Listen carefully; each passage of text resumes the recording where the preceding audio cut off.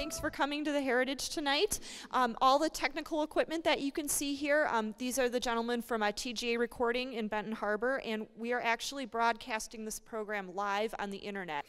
Tonight, I'd like to introduce Dr. Tom Goodwin, professor of paleobiology at Andrews University, where he's taught for 17 years. So, uh, allow me to introduce Dr. Tom Goodwin.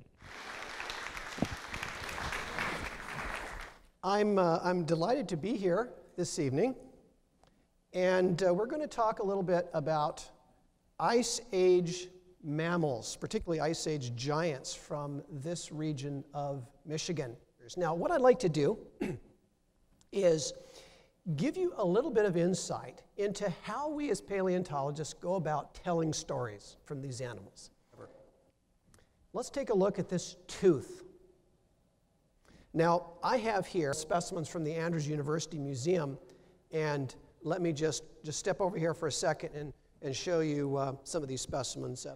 If you compare this with the tooth, I'll show you on the sc- screen there in a minute. That tooth, the tooth on the screen, is about this long. All right. So the leg is telling us this is still growing. The teeth is telling us this is an adult. In modern elephants, the males get bigger than the females. And the way they do that is to grow longer in life.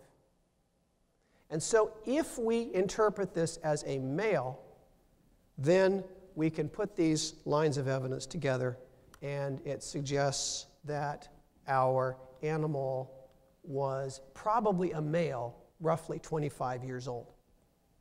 Uh, in your map of where uh, these have been found, there was nothing in the northern part of the uh, lower peninsula, the northern half. Was that the extent of their range or, or some other really really good question there may have been a lag between when the ice melts back and when there was sufficient food to make it worthwhile for a mammoth or mastodon to wander up there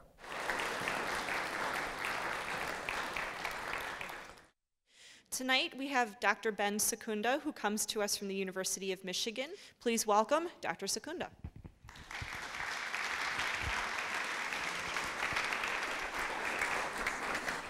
Well, thank you very much for coming out. As the Potawatomi would say, Anin, hello.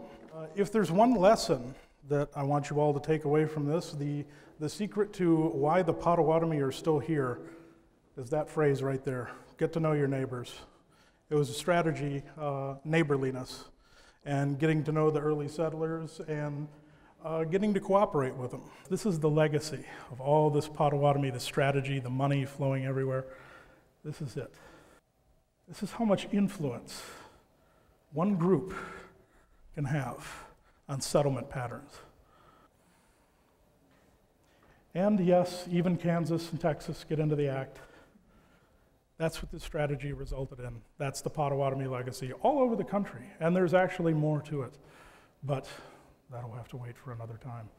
So when you start traveling the highways and byways around here and passing by things like Pipestone Road and things like that, know that there's a history and there's a reason why they have those names. And I thank you very much for your time.